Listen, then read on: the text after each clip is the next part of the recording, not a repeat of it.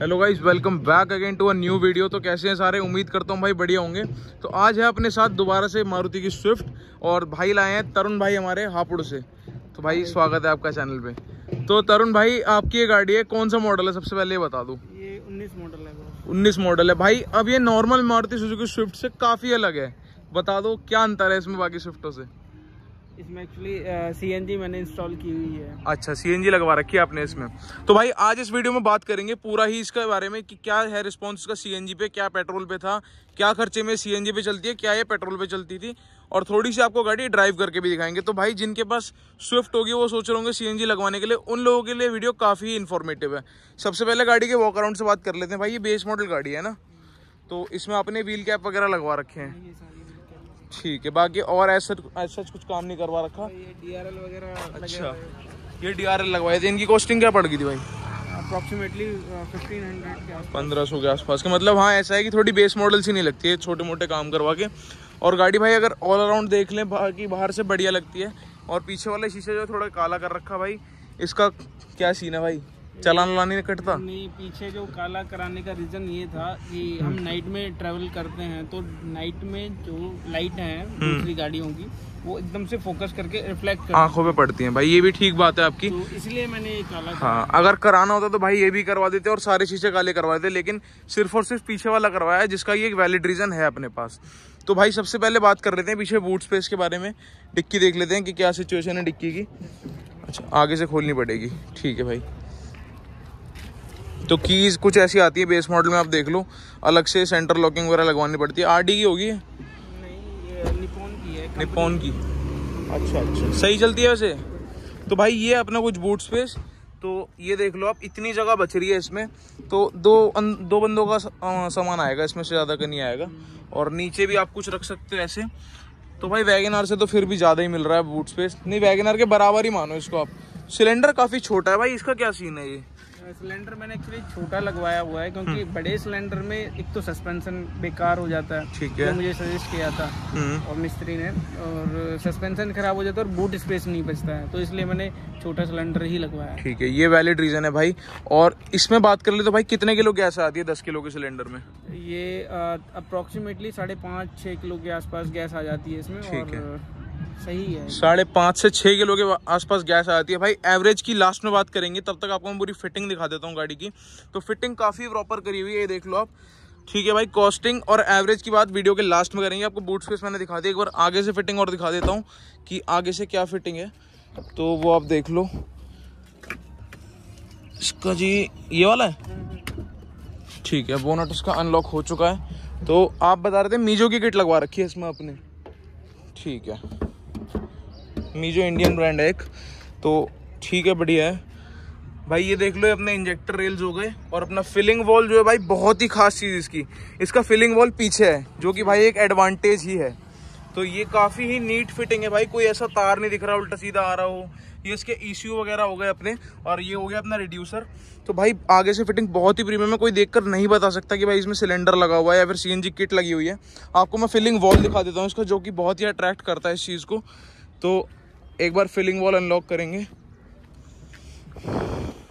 ये देख लो भाई तो इसका फिलिंग वॉल यहाँ पर मिल जाता है, जो कि भाई एक बढ़िया चीज़ है, और इसकी कंप्लाइंस प्लेट यहाँ मिल जाएगी आपको।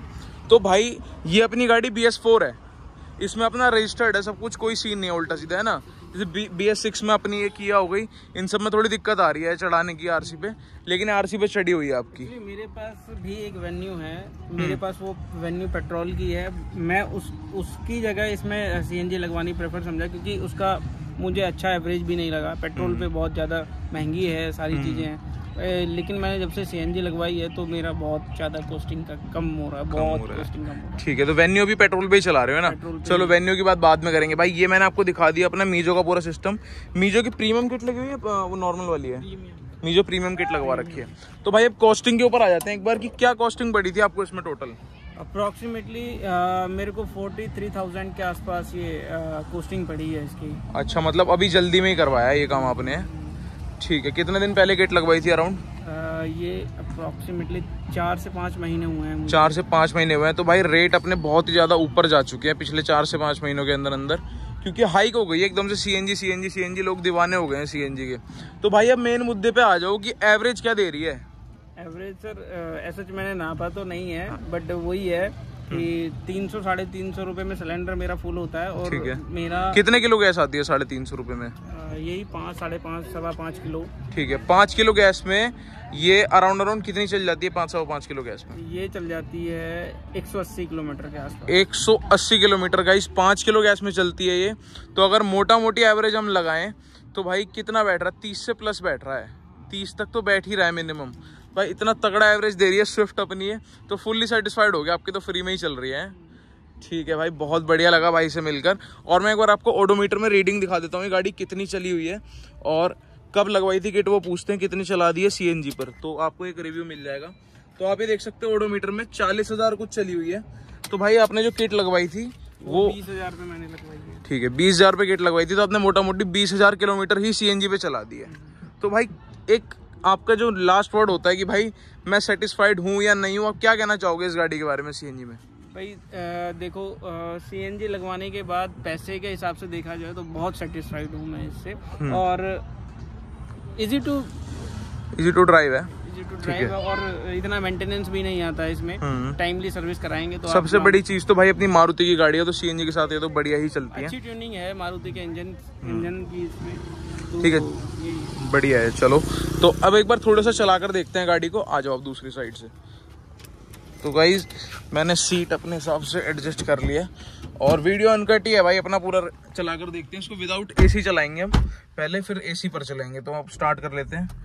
तो ये देख लो आप। अभी ये आ जाएगी थोड़ी सी देर में, ज़्यादा नहीं। चलाएँगे ना, इसको अपने आप आ जाएगी ये सीएनजी पे। ये हल्का सा लैग सा लिया। और ये भाई सीएनजी पे है अभी गाड़ी अपनी।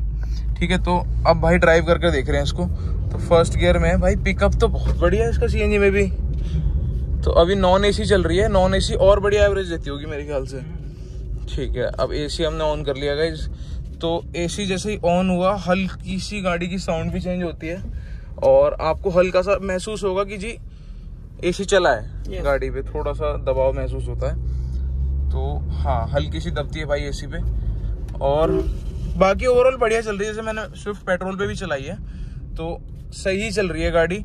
ऐसा कोई वो नहीं है। और सस्पेंशन पे कोई लोड तो होगा नहीं क्योंकि दस किलो का ही सिलेंडर है। तो हल्का ही होगा। एकदम सिलेंडर भी है।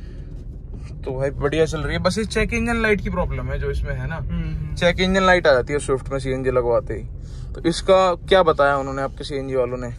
सीएनजी वालों ने ये चीज़ बताया मुझे चेक इंजन लाइट का। मैंने एक दो बार दिखाया भी उनको हम्म। कि जो वायर वायर कट होते हैं हम्म। प्लग्स के हम्म। तो इस वजह से उसमें जो और ये जो वो जो सेंसर होता है जो एग्जॉस्ट सेंसर होता है हम्म। उसके थ्रू भी ये आ सकती है चेक लाइट इंजन अच्छा। एग्जॉस्ट सेंसर जो मॉडिफाइड होता है पेट्रोल इंजन की गाड़ियों में हम्म। पेट्रोल के अकॉर्डिंग होता है बट अब हम चला रहे हैं सीएनजी पे। में। तो सीएनजी में पोल्यूशन भी कम है तो उसके अकॉर्डिंग सेंस करके चेक लाइट इंजन वगैरह ये चीज़ अच्छा। का ये रीजन बताया हम लोग ठीक है ज़्यादातर भाई गाड़ियों में सीएनजी लाइट ये चेक इंजन लाइट आएगी ही आएगी।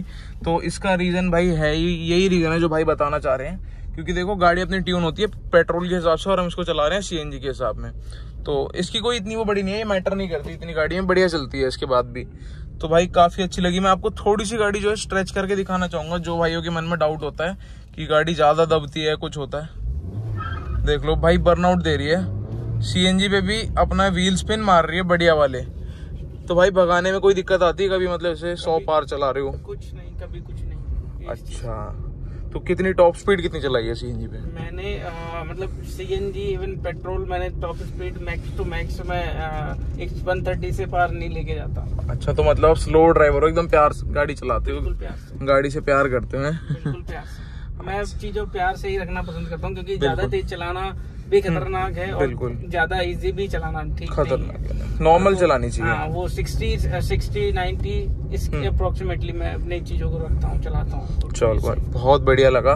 तो गाड़ी भाई आपने देख लिया आपके सामने है जो। ये सीएनजी पर है अभी भी सीएनजी पे चल रही है और 10 किलो का सिलेंडर इसके लिए मोर देन इनफ है।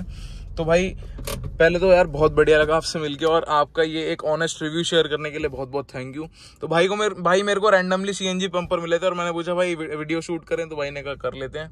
तो आप में से अगर किसी को अपनी गाड़ी का वीडियो शूट कराना है तो आप मेरे को इंस्टाग्राम पे मेल मैसेज कर सकते हैं। उसके थ्रू आप मेरे से कॉन्टैक्ट कर सकते हैं और इसी के साथ वीडियो को एंड करते हैं। और भाई से एक लास्ट कंक्लूजन पूछना चाहेंगे हम सारे व्यूअर्स के लिए। तो भाई, आप और दोस्तों को रिकमेंड करते हो कि स्विफ्ट में सीएनजी लगवाएँ या नहीं? देखो यार अपने बजट है सभी का। हम्म, और मैं तो यही रिकमेंड करूँगा बजट के अकॉर्डिंग देखा जाए तो बेस्ट है अपने आप में। ठीक है। और और सीएनजी कंपनी फिटेड लेना चाहे तो अब तो कंपनी फिटेड भी आ रही है। खैर ये आपको पाँच के आसपास में पड़ गई होगी। सही कह रहा हूँ मैं? तो पाँच पे आपने चालीस और लगा दिए। आपको पाँच लाख चालीस हज़ार में सीएनजी गाड़ी मिल रही है एक तरह से। भाई आज की डेट में अगर कंपनी फिटेड लेने जाते हैं तो आठ लाख से कम में कोई सीएनजी गाड़ी नहीं है। सिलेरियो तक आठ लाख की दे रहे हैं मारुति वाले। तो ये अपना बेस्ट ऑप्शन पड़ता है। अगर आपके पास बी एस फोर स्विफ्ट है तो आँख बंद करके लगवा लो। अगर बी एस सिक्स है तो, तो भाई तो नहीं रिकमेंड करता। मैं कि बी एस सिक्स में मत लगवाओ। हमने गलती कर दी क्योंकि भाई होता है कभी कभी अपने को अलग कुछ ट्राई करना तो हमने ट्राई कर लिया। लेकिन भाई ने बी एस फोर में लगा रखी है। ये पूरी लीगल है गाड़ी इसको सी एन जी पे चलाना। बाकी बढ़िया लगा भाई। इसी के साथ वीडियो का एंड करते हैं। और मिलेंगे आपसे कभी इन फ्यूचर है। ये लो आपकी चाबी। ठीक है भाई। ओके